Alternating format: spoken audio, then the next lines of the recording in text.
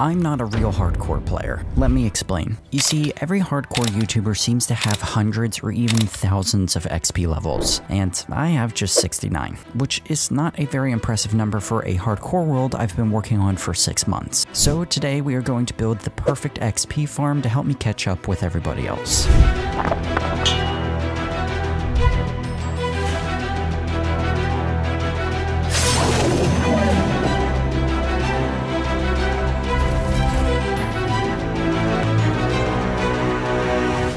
Now here's how this is going to work. Our first order of business will be to get a super smelter. We are once again going to need a few hundred thousand blocks of stained glass, and I'm not mining that by hand again. And after we are done with the super smelter, we are going to repair the sand duper I made in episode 2. As I said repair because I broke it, and I'll explain that later. Then we are going to whip up a cactus farm for the green dye we will need, and then we'll do some mining to get the remainder of the needed blocks. I really need to start doing smaller projects, good god. But anyways, let's get this dirt down.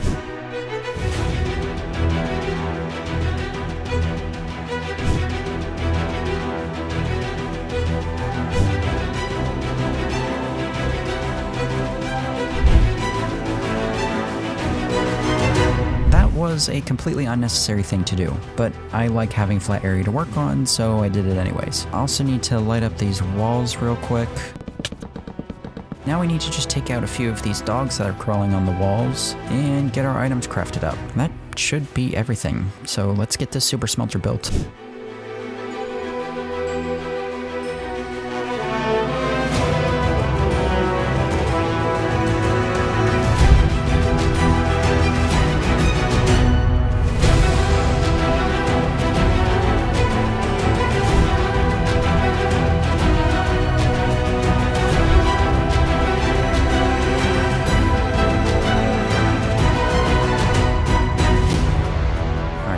Fiasco out of the way, we need to go repair the sand duper. Now, if you've been here a while, you'll remember I built this thing back in episode 2. And if you know how sand dupers work, you'll know that they use a chunk loader in order to operate. Well, basically, back between episode 3 and 4, I made the mistake of not only leaving the chunk loader on, but I also left the machine itself running. And when I went into the end, I was met with millions of blocks of sand all over the place and a whole lot of lag. Needless to say, the game crashed crashed, and the state of the world became so unstable that I almost lost it to a corrupted file again. Fortunately, I made a backup and intentionally hurried up and broke the duper to save the world from being corrupted by blocks. But I learned a valuable lesson.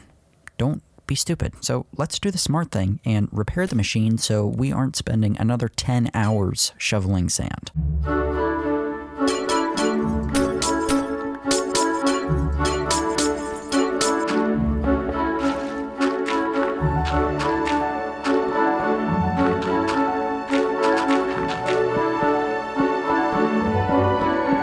Super Smelter is built and Sand Duper is fixed, so now we take this sand and see just how quickly we can get glass smelted. Why does every episode I make include so much sand? Maybe I need to make a glass factory? That would be pretty cool, actually. Episode 6, anyone? Now, as I mentioned before, sand isn't the only thing that's going to need smelted today. I need lots of green dye. And I originally thought that I would be able to just grab a bunch of cactus by hand, but then I realized I was going to need more than 200 chests full of dye. So, cactus farm it is. And I actually decided to live stream a good portion of this build, so make sure you tune into my streams to get early access to hardcore content. I go live most Mondays, Wednesdays, and Fridays at 5 p.m. Eastern Standard Time. And speaking of early access, I also launched a Patreon this week, and there you can get behind the scenes Minecraft hardcore vlogs, which are pretty cool. Oh, and if you want the schematics for all my major builds, including the ones in this episode, they can be found on my Patreon as well. It's only a couple bucks and it really helps out the channel a lot. So quick shout out to all my current channel members and Patreons. Your support does not go unnoticed. Anyways, green bean time.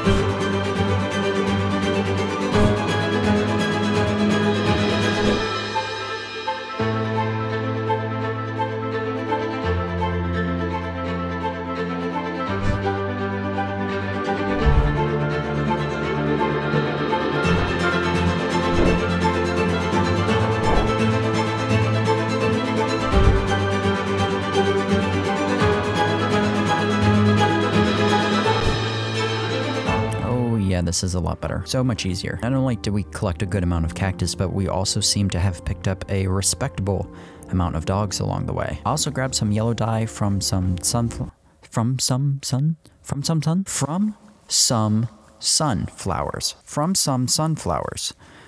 Yeah, say that 10 times real fast. Anyways, we didn't need a lot of this. We need just about 5,000 pieces of yellow stained glass, which isn't a lot. I mean, that is a lot, but compared to the build we're making and the 104,000 blocks of lime green glass we need, that's not much at all. But now that some of the more tedious stuff is done, we can move on to something I've really been looking forward to. Now, back in the last episode, we made this set of netherite armor that lets us insta-mine blocks we normally wouldn't be able to. And that's thanks to a mod called Better Armor Trims. So we are headed down to Bedrock to insta-mine some deep slate for the exterior of the build. I am very excited about this.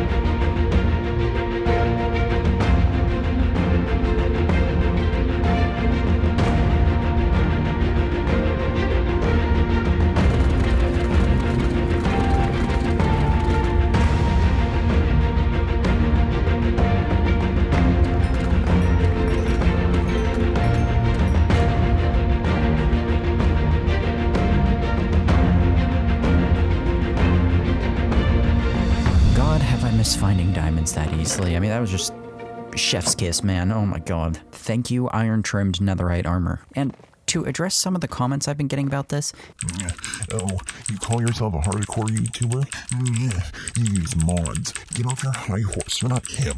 You're cheating and making the game easier with mods. to that I say, I, I know, right? How dare I play this open world sandbox game the way I enjoy playing it? It's so wrong that I went against the imaginary set of rules that some completely random person on the internet have set for themselves in their own heads and expect me to follow because God forbid anybody should have fun in a children's block game. I should just ignore the hundreds of hours of building and scripting and editing and creating and delete the whole world because my series is tainted by the egregious presence of uniqueness and individuality. I can insta-mine stone without a beacon. Stay mad. Had to get that one off my chest. Anyway, we should have all the deep slate we'll need. So now all that's left to do is AFK by the cobblestone generator for a while to get the final blocks we need. I want to build a giant obelisk of some kind, and I want there to be a gradient going from stone to deep slate. I think that would be pretty cool, like a gray to black pattern. And you guys will see what all the glass is for in the time lapse. So don't worry your square little heads.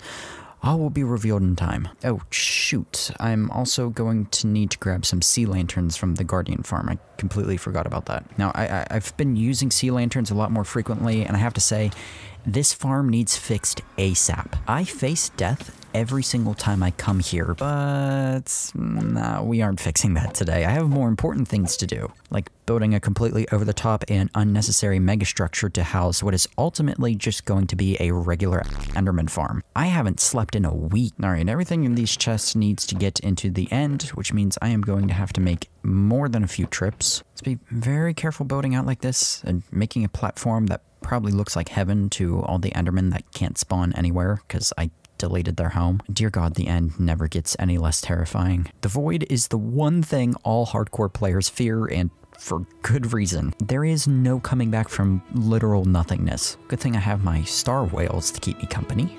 They can watch from a distance while we build this mega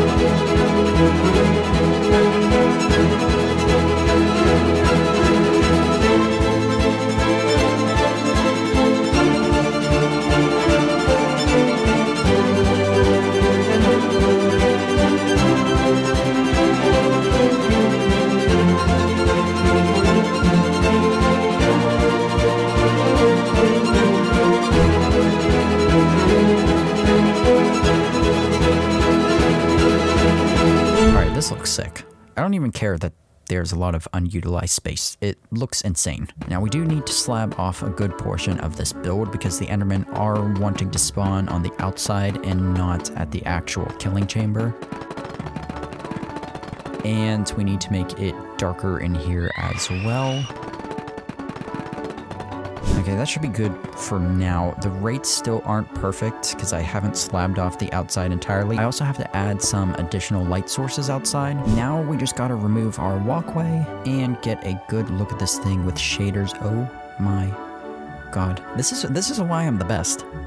Is there any debating it at this point? No, I'm, I'm kidding, but I really do think this looks gorgeous. I wanted to make it look like there was a bunch of experience particles falling out of the bottom of the structure, you know, because it is an XP farm. And I, I think I nailed that look pretty well. I'm very happy with this. And I know the interior is not done, but I'm saving that for another episode.